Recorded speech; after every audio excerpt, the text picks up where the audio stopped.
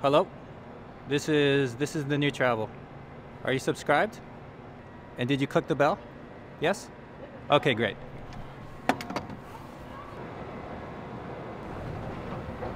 Oh, hey YouTube, just had to finish up a quick phone call. Thanks for waiting. I'm in a neighborhood called Saint Henri. And Saint Henri is an area lo- I've been meaning to get to for a long time because I've had a few people in Montreal tell me that it's one of the cooler areas, that there's a lot of things happening there these days. It's a quickly changing part of the city. I'm excited to, to check it out. And I'm also excited because I'm not here on my own today. I'm meeting up with another Montrealer. His name is Jean Francois. And as you might be able to uh, guess from the name, Jean Francois is uh, Quebecois. He's a French Canadian who reached out, wanted to show me around his neighborhood. And yeah, it's gonna be fun. Now, geographically speaking, uh, this part of the city is pretty far west. So we're just below Westmount and we're just above Verdun. Saint Henri is not a huge part of the city. Uh, it's about a similar size to, I think, Point St. Charles, which is another area I filmed in. But uh, from what I hear, there are at least a few things that are definitely worth checking out. And today, I'm going to try and find them. I'll tell you one thing about the Montreal Metro buildings. They look nicer on the inside than they do on the outside. The outside of them is usually just that classic concrete 60s style building. But on the inside, they each have their own unique style. Even if you're not someone who takes the metro that often, if you're visiting Montreal, I think you'll be surprised by how some of the stations look. Okay, YouTube, look who just showed up, Jean-Francois.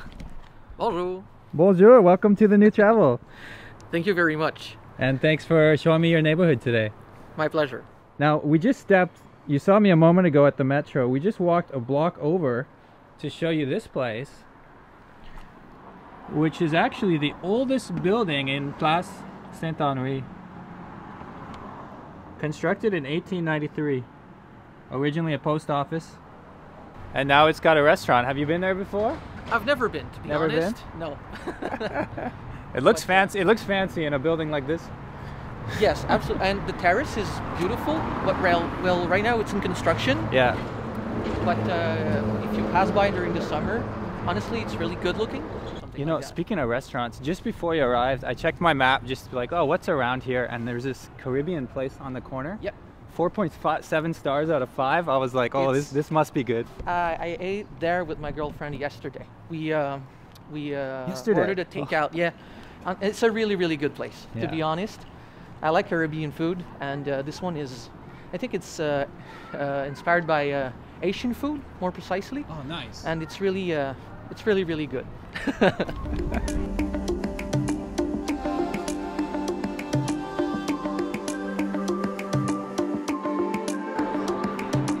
you and your girlfriend have been here for how long?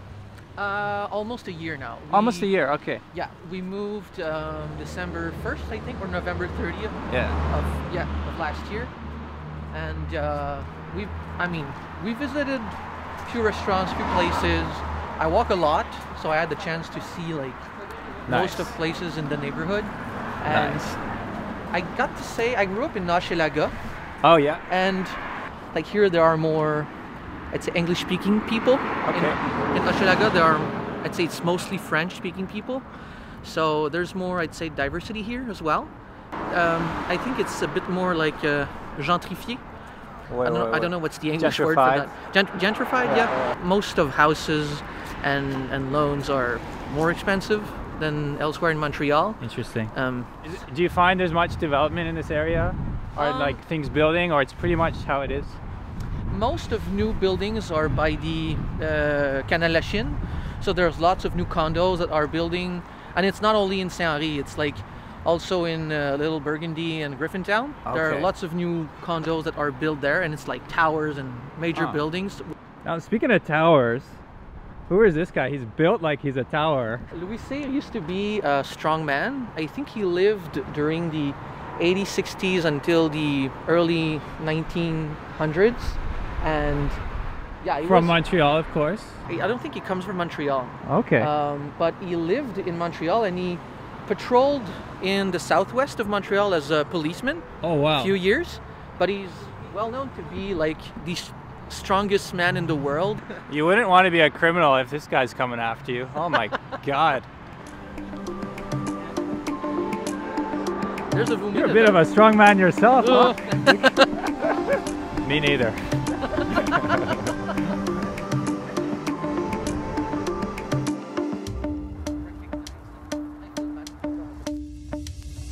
okay, YouTube, look both ways. We're crossing the tracks. There's something cool, isn't it? Just looking straight down train tracks. You probably shouldn't do it for too long, though. Let's keep going.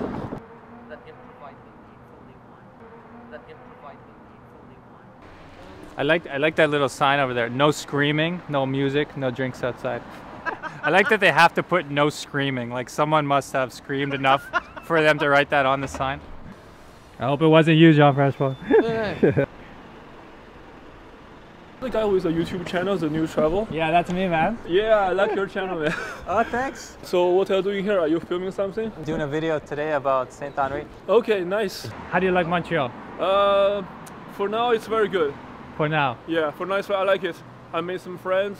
Uh, the city is uh, uh, very adorable. You know, it's a huge city, Yeah. but uh, you don't feel like it's a huge city. You feel like it's a very many small small uh, neighborhoods kind of combined together. Yeah, Uh, I feel that like too. it. Yeah. Yeah. Well, continue the good work. I really Thanks, love your video. Uh, take Bye. care. Awesome. I love those moments.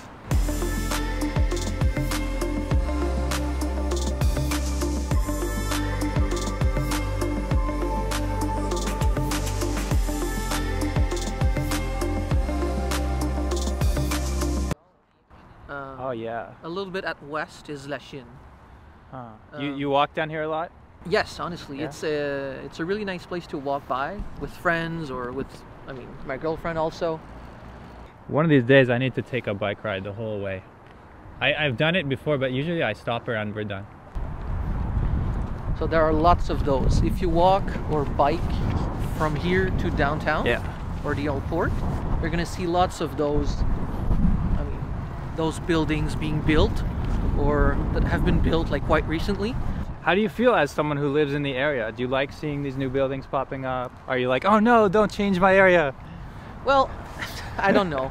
I just I just feel that my personal feeling is that I don't feel it's meant for families because most of the units mm. are are kind of small or if you want huge units like five and a half or more they're really expensive Different demographic moving in sometimes. yeah I, I think it's mainly made out for young professionals or young couples who are going to sell their unit to some younger young professional couples like in five years from now or maybe it's old people who are retired and just want to move out of the house where they, uh, they got their children their children got their own places and stuff like that and they sell their house to come to a smaller i just feel it's not made for families because there's a lack of space A million dollars. I'm gonna need a lot more views on YouTube before I buy one of those.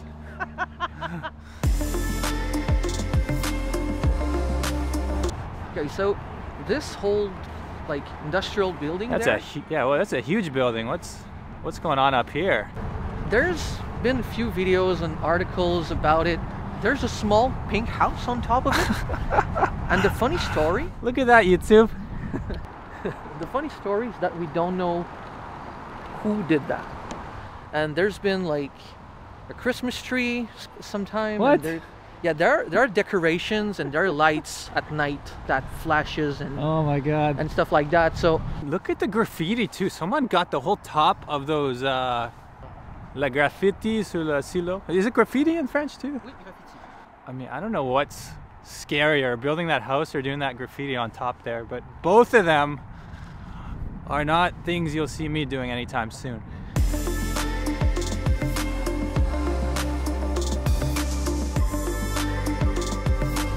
Bixi life. Unfortunately, the Bixi season is almost over. Still not sponsored by Bixi. Bixi, Sponsor my videos. I will love you forever. Ah, I love you anyway. That's the problem. Yeah, as Jean-Francois just said, uh, you got to be careful with your camera while on the bike. He's probably right. I should probably not be doing this, but I just like bringing you guys along on the journey. I can't can't put YouTube aside. Oh, look at this. Little view of downtown over there. It looks so small and cute, but it's actually much bigger if you could see past these guys.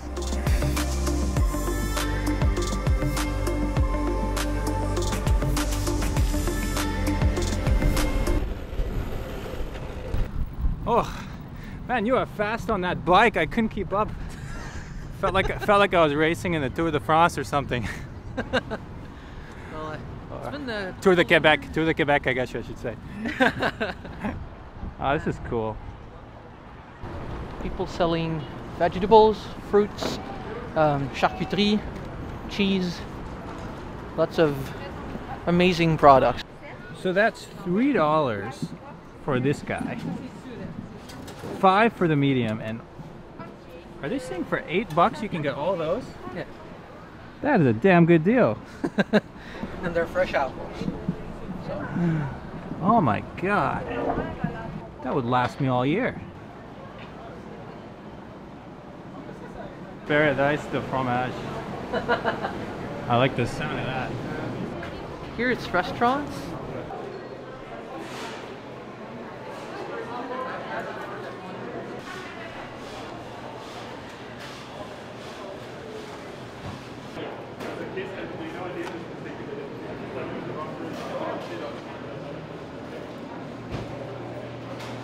That'd be a nice souvenir from the market. So that was a quick little walk through the market. There's more that I didn't show you, but it's a it's a pretty interesting place, and good prices too. I I would say, especially when it comes to things that are straight from the farm, like the apples and probably some of the vegetables. Now I bought some cheese.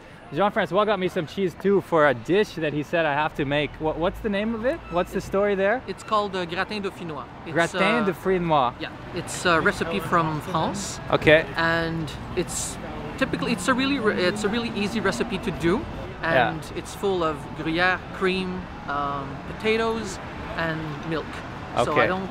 I hope you're not lactose intolerant Yeah. or something, because cheese cream milk. Yeah, that's like a torture. but that's. Uh, Yeah. I'm- I, I hope you're gonna like. I'm it. gonna make it. I can't wait. Speaking of meals, it just started to rain, but we're off to a meal ourselves. I thought it'd be cool to uh, end this video with a local restaurant. Since I've never been here, there's a lot of places I haven't tried around this area. Let's go see what we can find. But uh, Jean-Francois was just saying there's a couple of really well-known restaurants here. And one of them is that one, right? The green spot? Yes. Ah, pardon. Allez-y. Excuse me. Yeah, the Green Spot is it's, it's a restaurant that is in the area since quite some time, and it's a typical, I'd say, French Canadian diner where there's hot dogs, poutine, smoked meat, and like lots of different things that. I, Yeah, didn't even, I didn't even notice in front of the McDonald's, so. Yeah, it's in front of a McDonald's and it So that's survived. that's definitely the better pick if Yeah. you're in this part of town, huh? Yes. So there's one other spot you said we have to try. Which what are we having today? uh, we're going to the Satay Brothers, which is, in my opinion, the most iconic restaurants in the neighborhood. So let's go there. That's all I had to hear. On y va.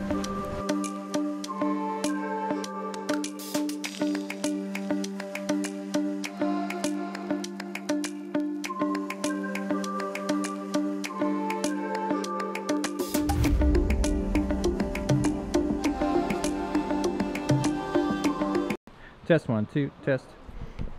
So as you can see, it's a bit darker outside now. We just finished our meal, and I have to say, I'm not just saying this for the video. That was probably one of the like maybe top three restaurants I've tried in Montreal. That was Cool. those chicken skewers at the beginning were amazing. That soup was amazing. Your salad was good too, right? Absolutely. Yeah, I mean, it's just uh, if anyone is into Asian cuisine, Southeast Asian in particular, that place definitely, definitely worth a visit. I'm now back where I started outside the metro and uh, just going to gonna say goodbye now to Jean-Francois. Thank you, man, for all of your time and all your uh, expertise today. Thank you very much. And uh, it was my pleasure uh, to uh, make you a bit of a small tour around. So You obviously have a pride in your neighborhood and it, it shows. yeah, yeah, I like it here, and uh, I think it's uh, you can make a good living, and uh, yeah, I just hope that people are going to be interested and and visit sometimes. You've done great today, so shout out to Jean-Francois and I hope everyone at home has enjoyed this one. As always, I'm Dan from The New Travel. I'll see you next time.